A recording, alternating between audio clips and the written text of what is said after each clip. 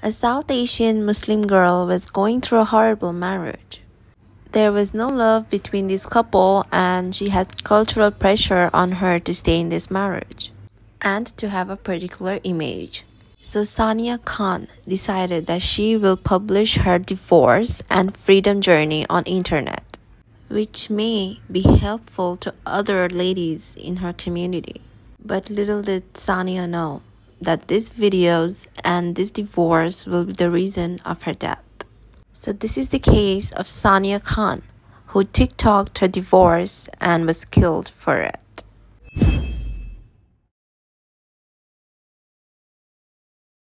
29-year-old Pakistani American Sania Khan used to live in Chicago. Her family moved here from Pakistan and her dad started work from social work. He used to get less money than lowest working wages. But moving to a new country is always hard, so he didn't complain. When Sania turned 25, she wanted to support her family financially as well and she started working as flight attendant to earn money. This wasn't forced. She loved to travel and she loved to meet new people, enjoy new food and experience new culture. She was working for airlines, but Sania had an interest in photography and video shooting. And according to her friends, this was her life goal. So, working as a flight attendant, Sania saved some money. And with that money, she bought a DSLR camera with it. She used to do freelance work as well and professional shoots on the side. And she was so good at it that she became a profound photographer in her area.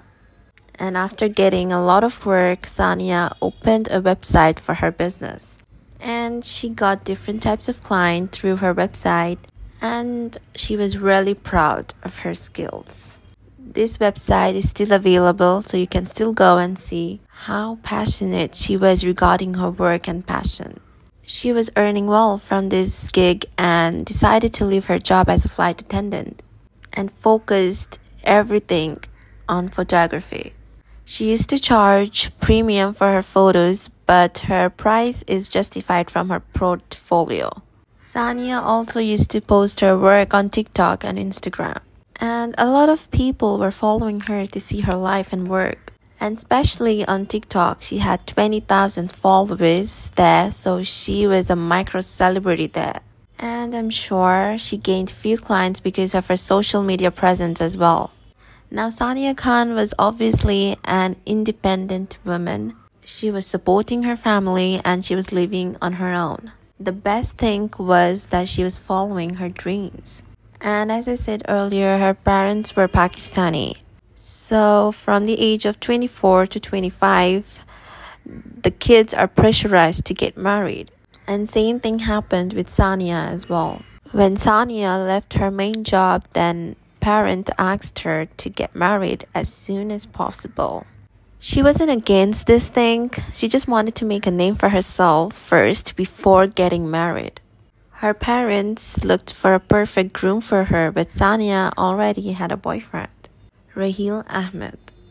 Sania and Raheel had been dating for five years, so she thought this is the perfect time to marry him. And so they did get married in 2021 which was last year.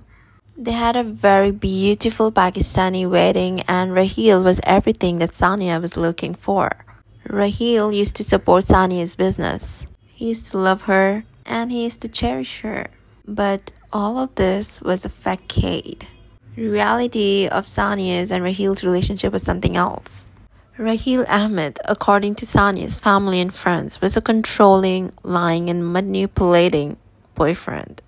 When they were getting married, Raheel told Sania that he was 30 years old, when actually at the time he was 36. He used to gaslight Sania a lot, but he wasn't this bad in the beginning of their relationship. They did long distance relationship for almost 5 years. And Sania used to meet him in between of her flight layovers. But in these 5 years as well, Raheel was very demanding. Maybe because of less conversation or long distance, Sania never felt that Raheel could be a bad person. But after marriage, Raheel turned possessive and controlling. He had tabs on everything that Sania did. For example, what Sania was wearing, who she was interacting with, what type of clients she had, like every little thing used to go through Raheel first. They were newlywed and Raheel wasn't working at that time. So Sania thought that maybe he was in stress and she tried to change for Raheel. She used to cook for him, didn't wear any revealing clothes, and she stopped hanging out with her friends as well. She was becoming more and more of what she hated just to save her marriage. She wasn't loud, bold, or expressive anymore and couldn't even share her problems with anyone anymore. So, after being frustrated to the brim, she confessed to her friends one day that she wasn't happy in her marriage. Sania told her friends that Raheel was going through mental issues and because of that, she didn't feel safe at home. The bottom line was that she wanted divorce. But being from a Pakistani household, this wasn't gonna be that easy. Sania told her friends that in her community, divorce is frowned upon. Sania's friend said, She told me that divorce was considered shameful and she was extremely lonely. Sania had cultural pressure to stay in her marriage. What will people say? was always in back of her head. Even though Sania's parents were divorced as well. So she thought that if I get a divorce as well, this will ruin our family's name. But when Sania told her problems to her friends and family, she only got support. And she finally filed for divorce after going through hell. And Raheel's family were not happy with this. Raheel did sign divorce documents, but he kept on pleading Sania that this is a big mistake and universe wants them to stay together. But when Sania didn't agree with him, then Raheel showed his true colors. He used to follow Sania on a lot of occasions. If Sania talked to any man, then he used to harass Sania on call and he used to barge into Sania's apartment. And to get rid of all of this, Sania got a restraining order against Raheel. And she switched her house lock with more secure locks. She literally was doing everything that she could stay safe because Raheel was a proper stalker at this point. And when Sania was approaching her divorce, she was genuinely happy. And according to her TikTok videos, she was starting a new chapter in her life. She also got a new apartment far away from the city so that she would never run into Raheel. And she was showing this new life and freedom of her through TikTok in hopes that her story will comfort girls who are going through similar situations. Sania knew this thing that she was the black sheep in her community but it was clear to Sania that she should never have married Raheel in the first place. Through her TikTok journey, Sania was able to connect with a lot of people, and with every TikTok, her follower count was also increasing. So much so that a lot of people in South Asian community knew about Sania's divorce. So she was gaining positive comments through her TikToks and online presence.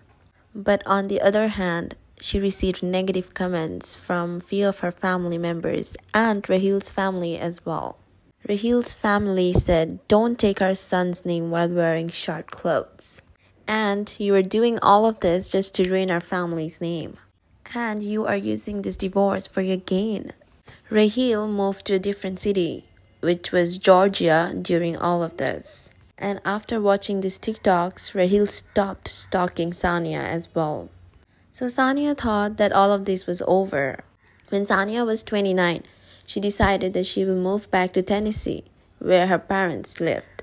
And last year, on July 21st, Sania asked her friend that she was coming back and said that will her friend be her roommate?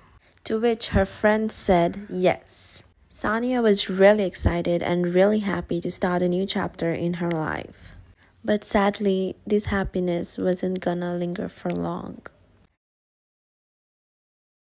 The day when Sania was about to leave Chicago, that same day Raheel came to Chicago as well.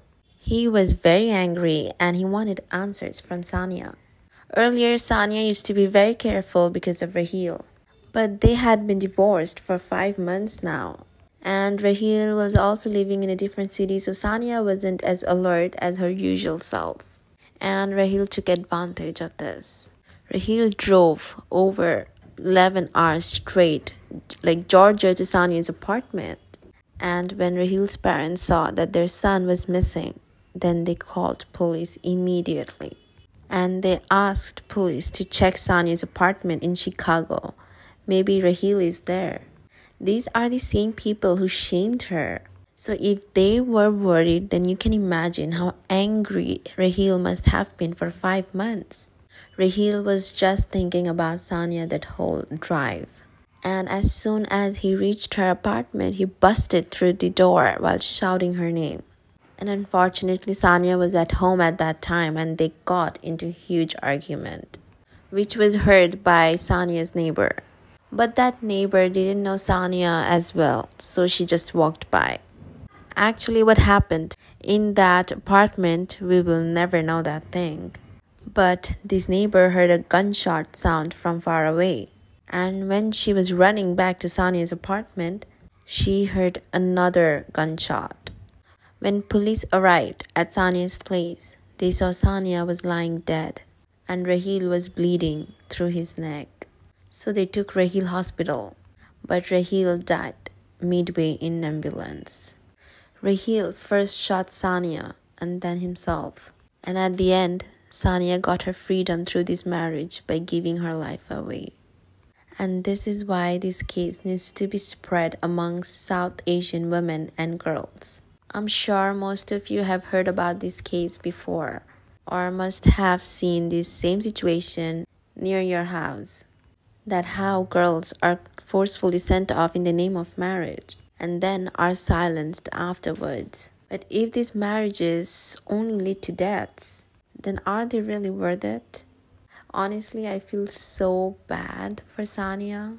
Just when she thought that she could again restart her life and live happily and fulfill all her dreams as she wanted to, her life was taken away from her. But this is all I have for this case. Thank you all for watching. Don't forget to give a like and also subscribe to my channel and let me know about your thoughts in the comment section below.